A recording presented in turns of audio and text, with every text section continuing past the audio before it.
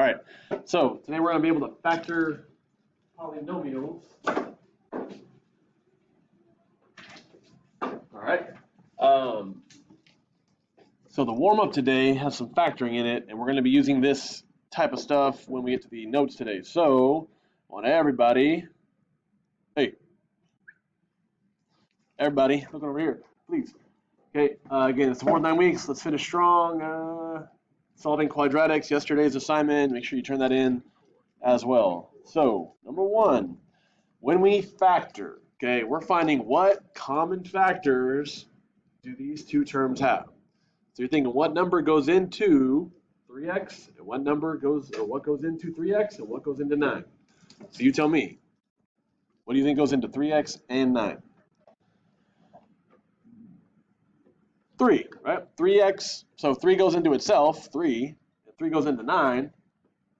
They don't have an x in common, so the only thing that I would say that they can be factored with is 3, okay? So here's what you can do, right? 3, and what you do is, it's kind of like doing distribution backwards, okay? You're taking 3 out of it, so if you divide both of these by 3, what's left over?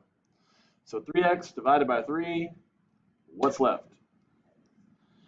Okay, the 3 taking away the 3 leaves you with just the x. Okay, and then what's 9 divided by 3?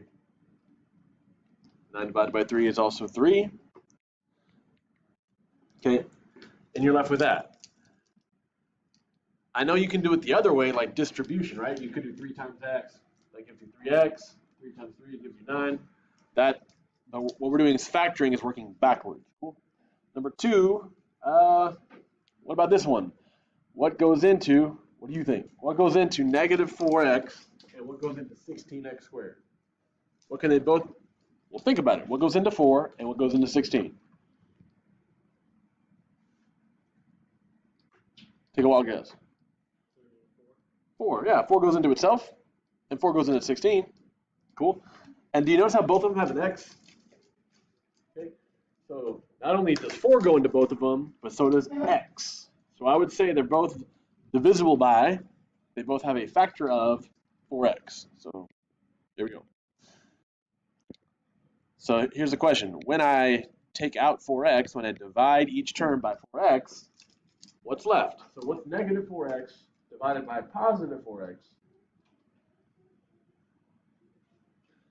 So 4 divided by 4 is 1, x divided by x is 1, but that negative sign stays there, so it's negative 1. Okay. And then over here, what's 16x squared divided by 4x? So 16 divided by 4. 4, right? Hey. 16 divided by 4 is 4. And then, now check this out. This was x squared, which is 2 x's multiplying. If I divide by one of those x's and I remove one x, how many x's are left? 1. Okay, so x squared divided by x takes away one of the x's, and now you just have x. Okay. Okay. Now keep this in mind as we do these notes. Okay, we'll pass this out. Today does not have to be that difficult. I'm telling you, people that struggle are people who are uh, struggling to focus. Focus with me today.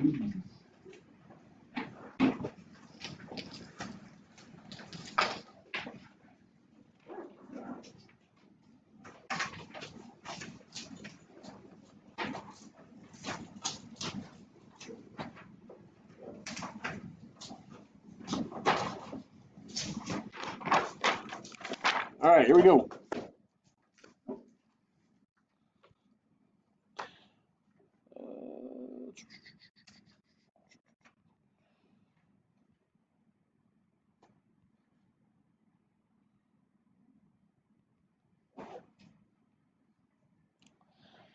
All right, now, to save us some time, I know you could read this, okay?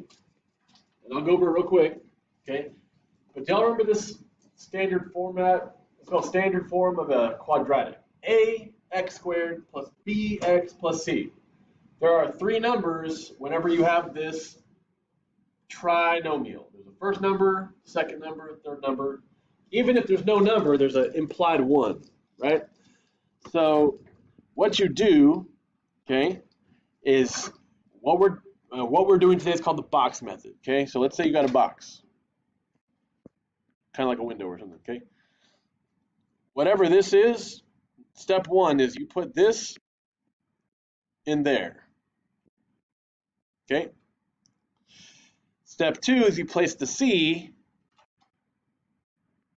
right there. Okay, so making your box is not that hard. You kind of first first term goes in the top left, last term goes in the top uh, bottom right. Then it says find the factors of AC. This is what we're going to be doing today. Do you see how it says A times C? Whatever these two numbers are, you got to multiply them and get a number. We're going to find the factors, make a list of them, and see which ones add or subtract to make B the middle term. Okay? Those two factors are going to go right here and right here. I'm going to show you exactly how this works, okay? Once you have that box filled in, then you're going to do what it says, factor the greatest common factor out of each column and each row. And those factors are going to make a binomial, and then the other factors are going to make another binomial. Okay, you're gonna have two binomials. Now, all that is just a bunch of words. Okay, I wouldn't expect you to understand it just from hearing the steps. Now, you could look at this and you can see how they did it, but what I want to do is just immediately go to the backside. I want to just do an example together so you can see how it works, okay? Because this stuff is like too many steps to just like kind of save all in your brain all at once, okay? So everybody, flip it over to the back, please, okay?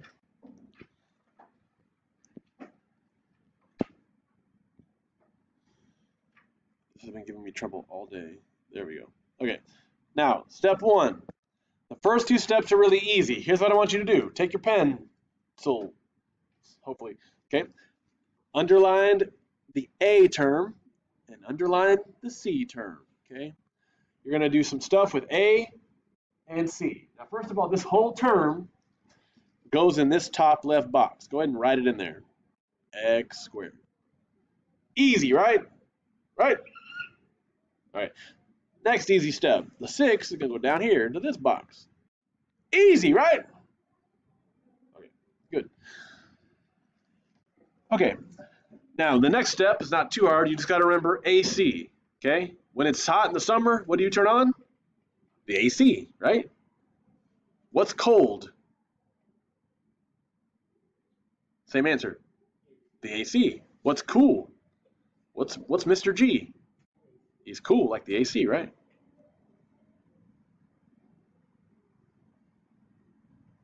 No one laughs, so y'all all believe it. All right, now what we're going to do is A times C, right? So go and write A times C. Now here's the question. Don't get tricked. What is A? What is the number in front of x squared over here? If there is no number, what number goes right there? 1. Write a 1 there. What's my C value? What's this last number? 6. So A times C is 1 times 6. I hope y'all can help me out here. What's 1 times 6? Are you sure? Everyone else, is 1 times 6 6? Okay, good. So it is 6. 1 times 6 is 6. Now here's what I want you to do. Write that 6 right here. And what we're going to do is find all of the factors. Do you know that factors means multiples? What multiplies to make 6? So start with the smallest number, 1. 1 times what is 6? 1 times 6, right? Okay, check it out. 1 times 6. Now, check this out. If you change both of those signs they're both positive. If you turn them both to negative, negative 1 and negative 6, isn't negative 1 times negative 6 a positive 6? It works out too, okay? So if you change both signs, it works. Okay, after 1 comes 2. Does 2 go into 6? 2 times what? 2 times 3. And again, change both signs. Negative 2, negative 3, okay? Uh, that's about it. Those are all the factors that make positive 6. Now you tell me, which one of these options will add up to make B? What is B? 5, okay? I want to know down here, which one of these is going to give me 5 when I add them together. So if I add 1 plus 6, I get 7. And if I add negative 1 plus negative 6, I get negative 7. Eh. Uh, if I add 2 plus 3, what do I get? 5. Hey, yeah, that's what I want, right? Negative 2 and negative 3, that makes negative 5, and I don't need no negative 5. I need a positive 5, okay? So do you see how that works? I only need the ones that will actually give me the b value of positive 5, okay? So guess what's going to go into these two boxes? 2x and 3x. So you got to, don't forget to add the x's, okay? These are to be x's. So please don't forget that step. When you put these numbers in those boxes, you got to put them with an x. X. Add the x. All right. Now let me stop right here. Does, do you think you can make the box the way we've done it so far? The first term, top left. The second term, bottom right. Multiply A times C, find all the factors, and see which ones make the middle term when you add them together. Don't forget to add an X, okay? If you can get that far, then you just have a few more steps, okay? But I know this is like a lot of steps, so it can be kind of like, oh. check it out. What you're going to do, each row column, you're going to factor, okay, like our warm-up. So think about, let's go left, let's go rows, okay, bottom row. 2x and 6. What is the common factor of 2x and 6? What goes into 2x and what goes into 6? 2, right? 2 goes into itself. 2 goes into 6. Now, what if you don't know how to find factors? Did you know a calculator can help you if you have one? Right? So check it out. Go ahead and write this at the top of your page. Menu 25. Okay. Let me pull up my calculator here. Now this only works for numbers. If you can't put X's into this, okay? But if I press menu, number two says number, Number five says greatest common divisor. GCD, okay? Watch this. If I want to know what the greatest common factor of 2 and 6 is, because for some reason, if that's troubling me, okay, I'm going to press 2, comma, 6. And what's the greatest common factor of 2 and 6? Like you said, it's 2, okay? Now, I hope you would just know that but if you get like big numbers and you're kind of like, uh, menu 2, 5, type in the numbers, don't forget the comma. Comma. Okay, so anyways, 2x and 6 on the left side, go ahead and put 2. The greatest common factor of these two terms is 2. Okay? Now, what about the top row? x squared and 3x. Okay?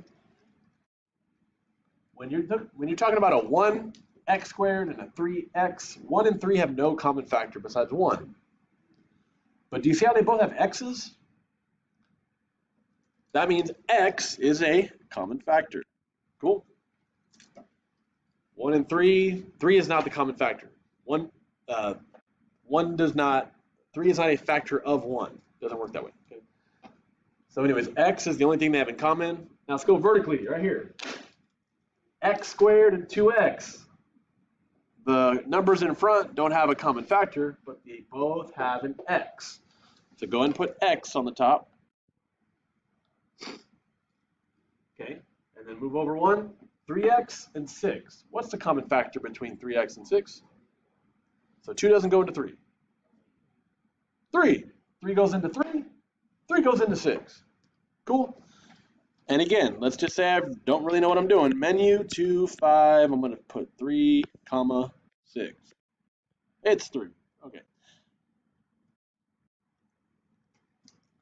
Okay, so I've made my box, then I factored each column, I factored each row. Now I have two binomials. So the left side, do you see how that's an x and a plus 2, and the top is an x and a plus 3 because they're positive? You're going to put your final answer as two parentheses. Okay, so check it out. x plus 2 and x plus 3.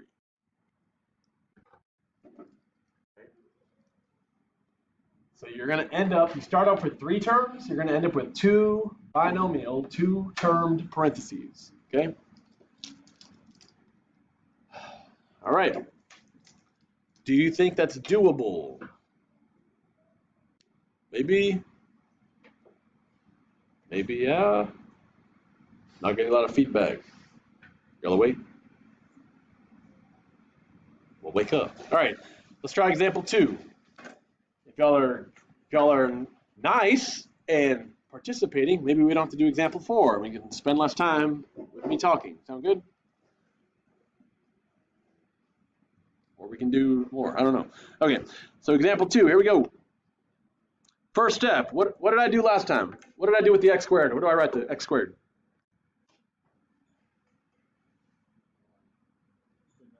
Top left, right there, x squared. Go and write it in there. Okay, that's the first term. That's the a. Where do I put this c term? Bottom right. Easy. This is the easiest step. Can y'all do the easiest step for sure every time? Okay. Uh, now, what was that? What, what did I need to multiply together? Because it was so cool. Like your teacher. AC, right? Dang, that's cold. Ice cold. All right, a times c. What is a? What number is in front of x squared here? No number means 1. What's c? 1 times negative 20. What is 1 times negative 20? It is negative 20. We're going to factor negative 20.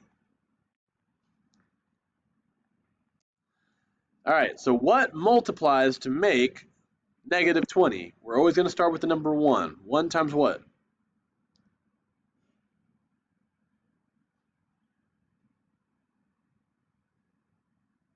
One times what gives you negative 20? Negative 20, yeah. One times the same number gives you that number, right? One times negative 20. Remember, change the signs. So instead of positive 1 and negative 20, now we have negative 1 and positive 20. That also multiplies to give you negative 20. Let's try 2 now. 2 times what? Negative 10 and change the signs, negative 2 times 10. 3 does not work, but what about 4? 4 times negative 5, negative 4 times positive 5. Okay. So that's it for our factors. Now the question is, which one of these factors is going to add up to make b in the middle? 8. Of these, when I add them together, makes 8? So let me just try the first one. 1 and negative 20 is negative 19. Negative 1 and 20, positive 19. 2 and negative 10 is negative 8. Negative 2 and 10, what's negative 2 plus 10? 8. That's what I need, right? So what I need to make B is negative 2 and 10.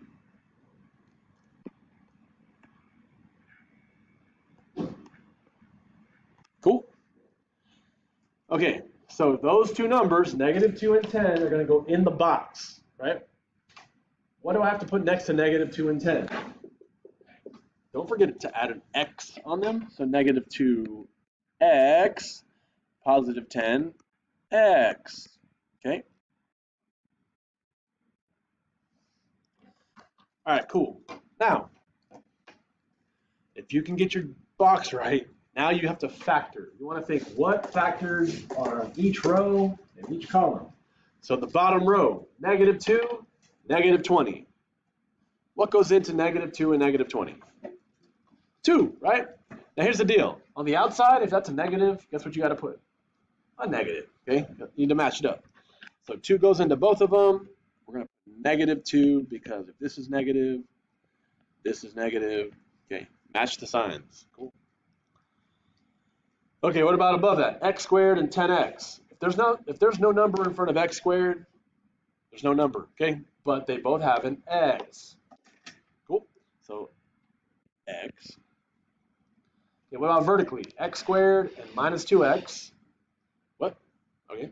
Again, there's no number in front of x squared, so there's no number involved, but we're going to use x because they both have an x.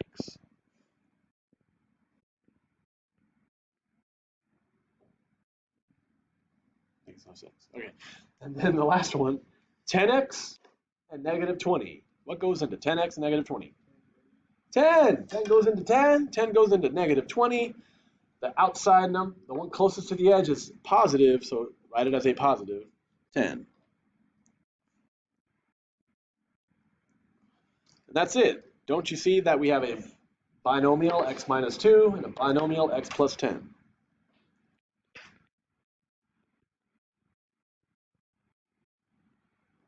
Cool.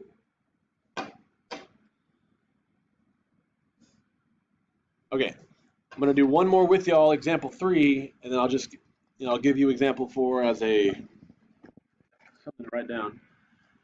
This example three makes it a little bit more challenging, so please make sure you're paying it close attention. Okay. All right. First things first. Where does the first term go?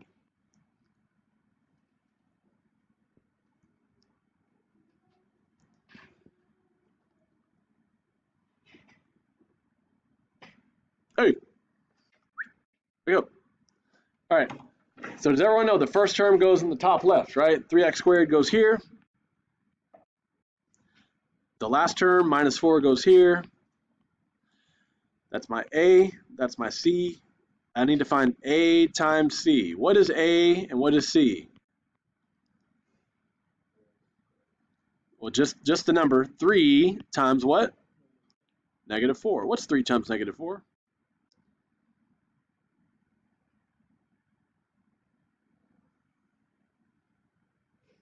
Negative 12. Okay, so I want to find the factors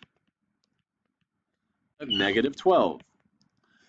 Again, start with 1. 1 times negative 12, negative 1 times 12, right?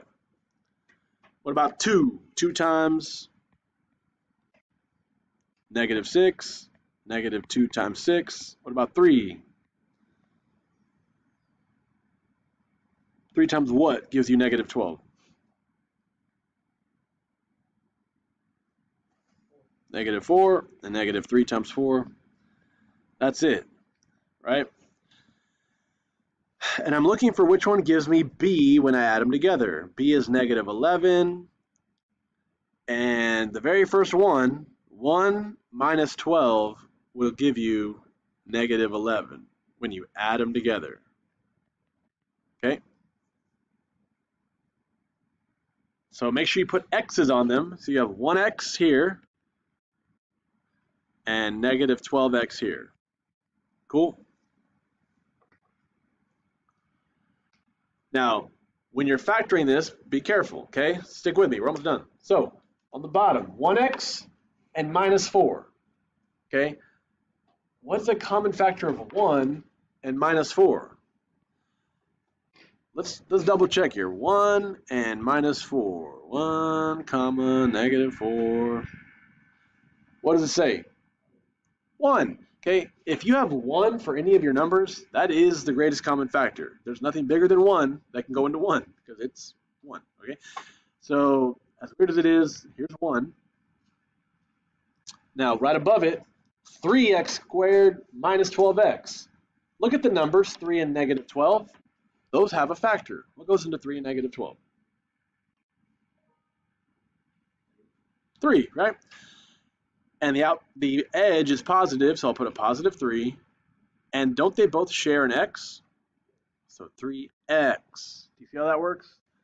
Look at the numbers first, see if there's a common factor, then see if they share an x. Use the outside edge sign, okay?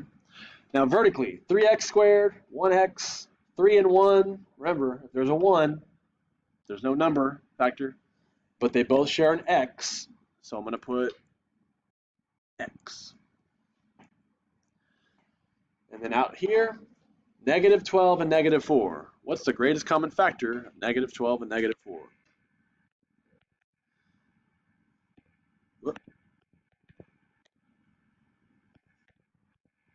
Positive 4. 4 goes into 12, 4 goes into 4. The edge is negative, so I want to make sure I use a negative 4. And since they both don't have an x, I'm just going to put that, okay? Cool. Well, now that I have my edges, my factors written, nice. Let's put this back where it was.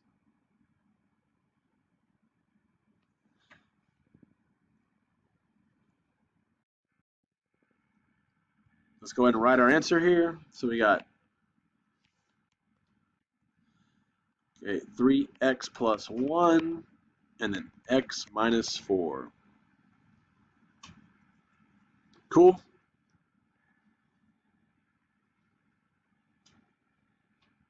Oh my gosh, hold on one second. Stuff keeps moving and it's making me want to screech.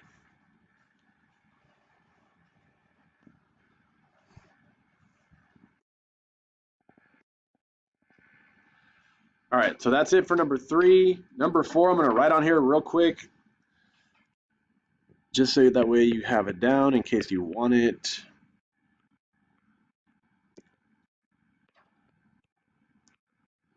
So on this one, A is 3 times C is 16. 3 times 16 is 48. So the factors of 48 are 1 and 48, negative 1, negative 48, 2 and 24, negative 2, negative 24.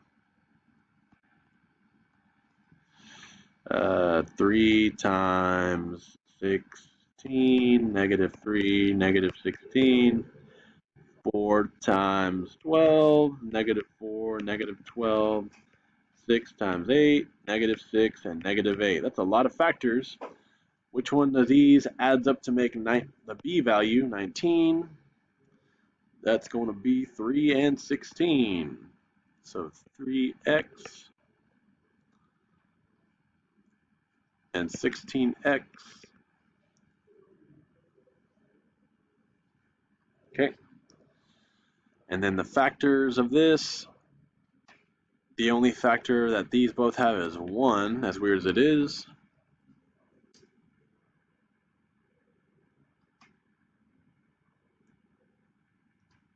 Okay. And then up here it's x. This one is 3x. And this one is 16. So you end up with x plus 1 and 3x plus 16. Okay, now you're going to use this. Okay, so you're going to use this information on the assignment. I'm going to pass it out. You have today, you'll have tomorrow too. Again, follow the way we did these notes, and you'll be all right. If you get stuck on finding factors, look at your notes, use a calculator if you need to, ask me questions as needed, and here we go.